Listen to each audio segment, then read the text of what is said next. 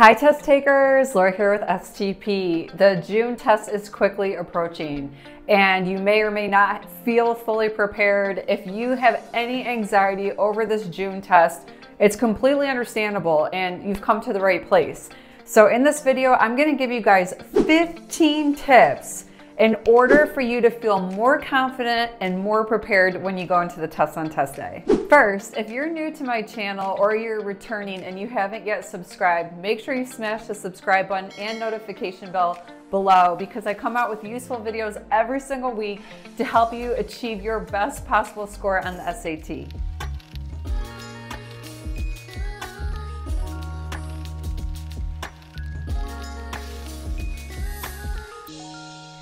All right, first guys, this video is brought to you by Preply, the first ever digital SAT prep app that's available in the App Store and in Google Play. If you are trying to push your score to the finish line and get some last minute prep in before the test, download Preply now because there's over a thousand exclusive questions in both English and math, and you can work on it whenever you're out and about from the palm of your hand. It's so nice to just be able to go on your phone and practice a handful of questions and target your weaknesses because Preply is designed so that you can work on specific questions that you really struggle in. So I'll put the link up here. Go get Preply today.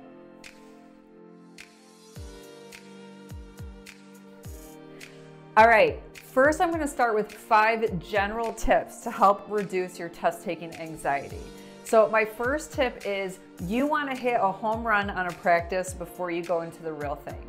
So there's nothing worse than having a terrible practice right before the real test. It deflates your confidence.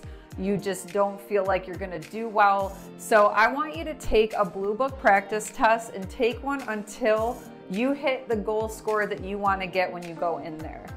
That way you're gonna feel so much better, the wind will be in your sails and you'll know that you can do it. Okay, next tip to reduce your general anxiety before the test is to make sure you're fully prepared the night before. So make sure you have an outfit laid out. I prefer comfy sweats, something that you'll feel really, really comfortable in. Um, and that way you won't have to worry about picking out an outfit the day of the test it'll just be ready for you. And the same token, make sure your device is left on the charger overnight because there's nothing more anxiety provoking than to realize that your Chromebook or your laptop is like on low battery when you're going into a high stakes test like the SAT. My fourth tip is to make sure you get a good night's sleep. I feel like this is common sense and should go without saying, but Please don't try to cram and study until three or four in the morning because then you're not gonna be at 100% of your cognitive capacity the next day. You wanna make sure that you are firing on all cylinders and in order to do that, you do need a full night's sleep. All right, my last and final tip for just reducing general testing anxiety is to make sure you have a plan B. So when you go in to take this June test, have a backup test that you're planning on taking as well. This helps for a couple reasons. One, you'll put less pressure on yourself to perform on this test because you know you have another chance at it later. And two, for super scoring purposes, because you can take the June and then see where you're still weaker and focus on that area for the next test, like the August. So for those of you that don't know what super scoring is, it's taking your best English and your best math score and putting them together. So you definitely want to plan to take another test after June and that'll really make you feel less anxious.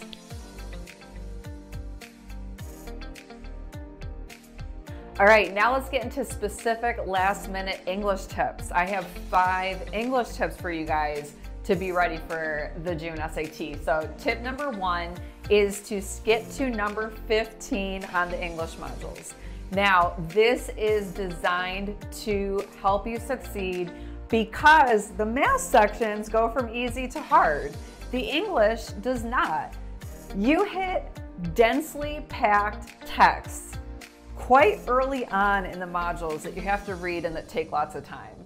So to basically re-engineer things to your advantage, I think you should skip to 15 because then you get all the quick questions out of the way first. And your goal is to accrue as many points as you possibly can within the time limit. So start with the grammar questions, then do the transitions, then the note taking, then you can loop back to the beginning with words and context, and that will save those tough reading questions for last.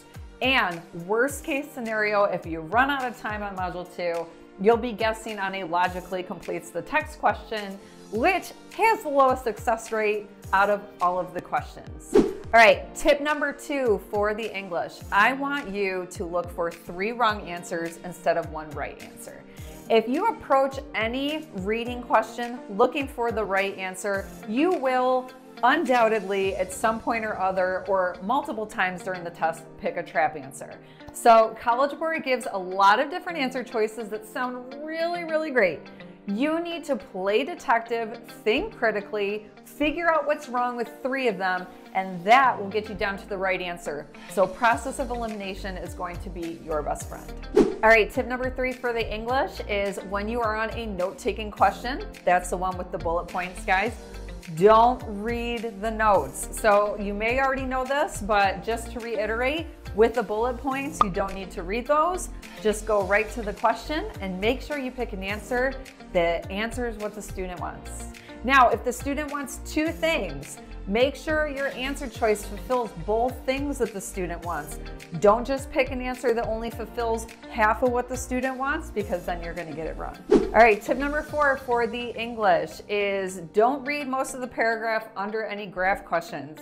Guys, they are time eaters and literally you just need the last sentence or two. The last sentence is great unless there's a transition that starts the last sentence. Then you'll need the sentence before it because it's tied into the second to last sentence.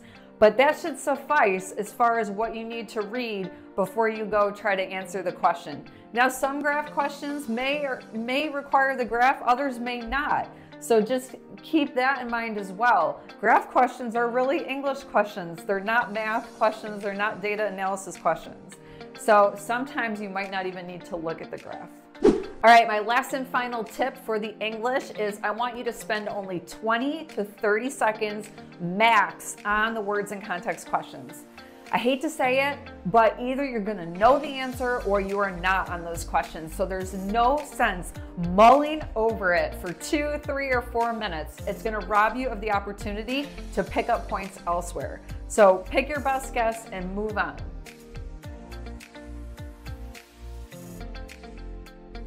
All right, guys, now we're on to my five last minute math tips before you go in to take the June.